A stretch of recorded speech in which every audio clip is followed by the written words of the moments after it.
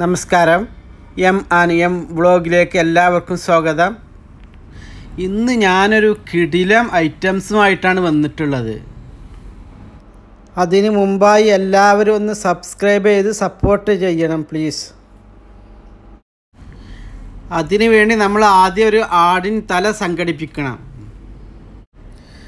ഇനി നമുക്ക് അതിലേക്ക് വേണ്ടത് എന്തെല്ലാം ആണെന്ന് നമുക്ക് നോക്കുക.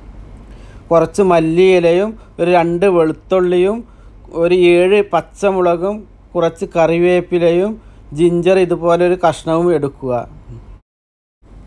അതുപോലെ ഒരു അഞ്ച് വലിയ ഉള്ളിയും ഒരു നാല് ടൊമാറ്റോയും കൂടി കട്ട് ചെയ്തെടുക്കണം.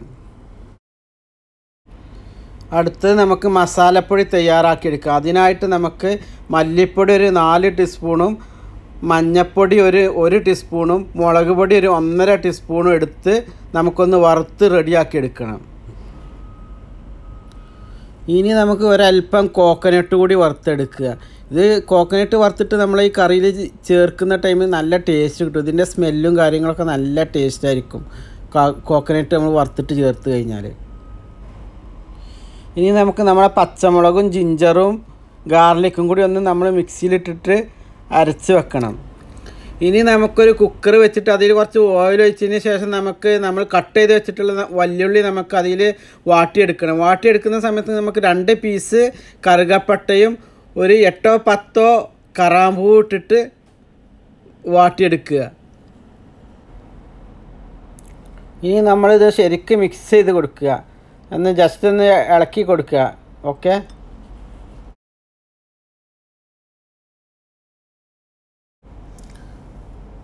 ഇനി നമുക്ക് അല്പം സാൾട്ട് യൂസ് ചെയ്യാം. അപ്പോൾ ഞാൻ ഇവിടെ ഉപയോഗിക്കുന്നത് കല്ലുപ്പാണ്. അപ്പോൾ എല്ലാവർക്കും കല്ലുപ്പ് ഉണ്ടെങ്കിൽ കല്ലുപ്പ് തന്നെ ഉപയോഗിക്കണം. അതാണ് ഏറ്റവും നല്ലത്.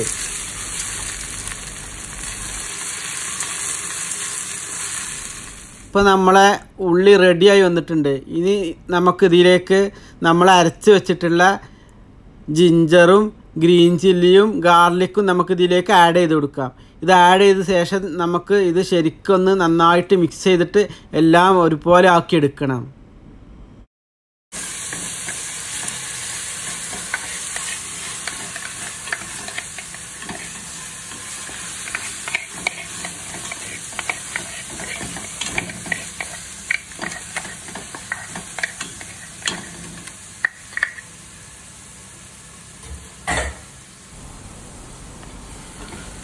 അതിനുശേഷം നമുക്ക് നമ്മൾ കട്ട് ചെയ്ത് വെച്ചിട്ടുള്ള നമ്മുടെ ടൊമാറ്റോ ഉണ്ട്. ആ ടൊമാറ്റോ നമുക്ക് ഇതിലേക്ക് ചേർത്ത് കൊടുത്ത് നമുക്കൊന്ന് നന്നായിട്ട് വേവിച്ചെടുക്കണം. ഇത് ശരിക്കും നന്നായിട്ട് വെന്തതിന് ശേഷം നമുക്ക് നമ്മൾ കട്ട് ചെയ്ത് വെച്ചിട്ടുള്ള ഹെഡ് പീസ് നമുക്ക് ഇതിലേക്ക് ചേർത്ത് കൊടുക്കേണ്ടതാണ്. ഇപ്പം നമുക്ക് അതിന്റെ സ്മെല്ലെല്ലാം നല്ല സ്മെല്ല് വരുന്നുണ്ട്. നല്ല ടേസ്റ്റായ സ്മെല്ല് വരുന്നുണ്ട്. ഇനി നമുക്ക് ഇതിലേക്ക് നമ്മൾ നമ്മൾ മുമ്പേ കട്ട് ചെയ്ത് വെച്ചിട്ടുള്ള ഈ ഹെഡ് പീസ് നമുക്ക് ഇതിലേക്ക് ആഡ് ചെയ്ത് കൊടുക്കാം. ഇനി നമുക്ക് ഇത് ശരിക്ക് മിക്സ് ചെയ്ത് യോജിപ്പിക്കണം. ഈ മസാലയും ഈ ഹെഡ് പീസും കൂടി ജസ്റ്റ് ഒന്നിച്ച് യോജിപ്പിച്ച് മിക്സ് ചെയ്തെടുക്കണം.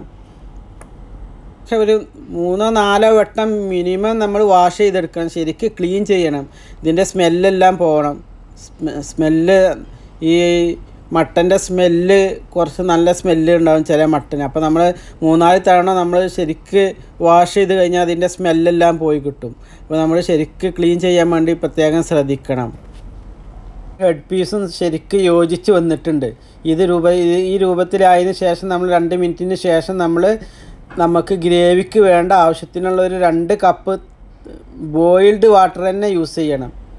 നമ്മൾ ഇതിലേക്ക് തിളച്ച വെള്ളം മാത്രമേ യൂസ് ചെയ്യാൻ പാടുള്ളൂ എന്നർത്ഥം. നമ്മൾ തണുത്ത വെള്ളമോ അതോ സാധാ വെള്ളമോ നമ്മൾ യൂസ് ചെയ്ത് കഴിഞ്ഞാൽ അതിന്റെ ടേസ്റ്റ് ഈ ടേസ്റ്റ് കിട്ടൂല. അപ്പോൾ നമ്മൾ എപ്പോഴും അതിന് ഗ്രേവിക്ക് വേണ്ട വെള്ളം നമ്മൾ ആദ്യം മുൻകൂട്ടി നമ്മളൊരു പാത്രത്തിൽ തിളപ്പിച്ചെടുക്കുക. അപ്പം അതിന് ശേഷം നമ്മൾ ഒരു രണ്ട് കപ്പ് മിനിമം നമ്മൾ വെള്ളം ഒഴിച്ച് കൊടുക്കണം. അത് തിളച്ച വെള്ളം തന്നെ ആയിരിക്കാൻ പ്രത്യേകം ശ്രദ്ധിക്കണം. എന്നാൽ നല്ല ടേസ്റ്റ് കിട്ടും. പിന്നെ ഉപ്പ് നമുക്ക് ഒന്ന് ടേസ്റ്റ് നോക്കിയിട്ട് നമുക്ക് വീണ്ടും ഉപ്പ് വേണമെന്നുണ്ടെങ്കിൽ ഇനി ഈ സമയത്ത് നമുക്കൊരു അല്പം കൂടി ഉപ്പ് ചേർത്ത് ഒരു അല്പം കറിവേപ്പില കൂടി നമുക്ക് ഇതിൽ ഇനി ആഡ് ചെയ്ത് കൊടുക്കണം. ഇങ്ങനെ നമുക്ക് ഈ കറിവേപ്പില ആഡ് ചെയ്യുന്നതോടുകൂടി നമുക്ക് നല്ല കറിവേപ്പിലന്റെ സ്മെല്ല് നല്ല ടേസ്റ്റ് കൂട്ടി കിട്ടും. ഈ കറിവേപ്പില എന്ന് പറഞ്ഞാൽ നമുക്ക് കറിയിൽ നല്ല ടേസ്റ്റ് കൂട്ടുന്ന ഒന്നാണ്.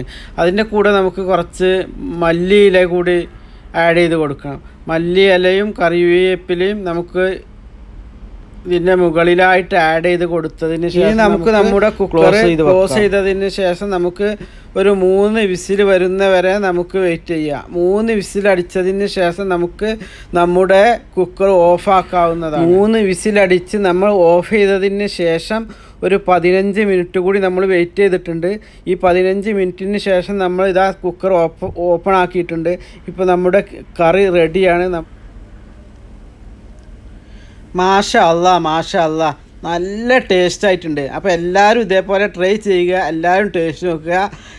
എന്നിട്ട് നിങ്ങൾ കമന്റ് ബോക്സിൽ കമന്റ് ഇടുക. ഇനി ആരെങ്കിലും നമ്മുടെ ചാനൽ സബ്സ്ക്രൈബ് ചെയ്യാൻ വിട്ടുപോയിട്ടുണ്ടെങ്കിൽ അവർ ഉടനടി സബ്സ്ക്രൈബ് ചെയ്യുക. ഓക്കെ ഇത് പറ്റുള്ളവരിലേക്ക് നിങ്ങൾ ഫോർവേഡും കൂടി ചെയ്യണമെന്ന് അഭ്യർത്ഥിക്കുന്നു. Okay thank